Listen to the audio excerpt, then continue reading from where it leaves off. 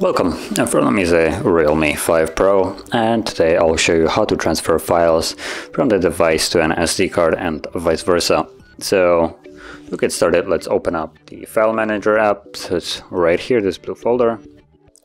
Tap on it and at the bottom you should see your two storages, so you have the phone and SD card. Now let's go to the phone storage and in here you can see a couple of the main folders that you can find your files in. DCIM usually has all your pictures and videos that you have captured with this device. Then music or movies and music have, well, the music and movies as long as you have placed them yourself.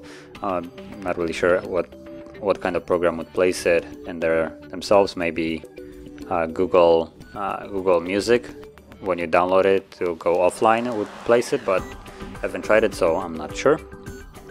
Uh, then you have the pictures folder which normally contains a screenshot, uh, but I think on this device it, uh, the screenshots are also saved to the DCIM. Um, if you can't find your screenshots in the DCIM, you can find them in the pictures.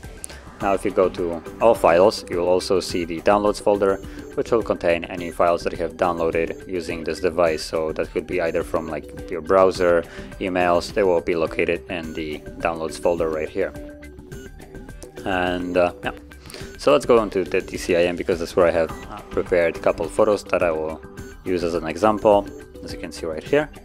So number one, you want to select the files that you wish to move and you do that by simply holding the file till it gets checked like this and then you can simply tap on the add ones to add them on.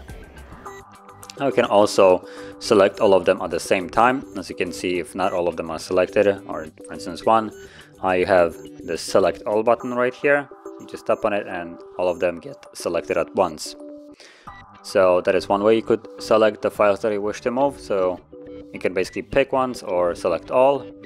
Um, or you can also go back and as you can see this is the camera folder where the three where the three pictures are and you can just also select the folder itself and move it along with all of its content whichever way you do it it makes no difference, it's just more a matter of preference.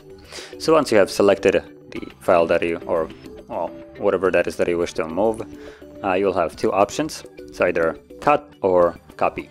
Now both of them do do the job but do it a little bit differently. So copy will uh, basically create another set of the same files uh, in the location of your choice, while cut will completely remove them from where they are and move them to the new location of your choice. I'm gonna choose cut for this purpose and once you tap on cut you want to go back to where you wish to move them so mine are on the uh, phone storage so I'm gonna move them to the SD card and I could move them to also the DCIM folder to keep it organized uh, but as you can see there are already files in here so I'm gonna actually drop it right here so there is some difference so let's just paste it right here you have the button to paste tap on that and you're finished basically. As you can see now there is a camera folder with three, uh, three photos in there. So those are the three photos. And there's a DCIM folder with the four other photos that I had already on here. And if we go back to the phone storage, uh, DCIM, you can see that there is nothing in here anymore. That's because I have chosen to cut it from here. So that is how you remove any kind of file. And if you found this very helpful, don't forget to hit like, subscribe, and thanks for watching.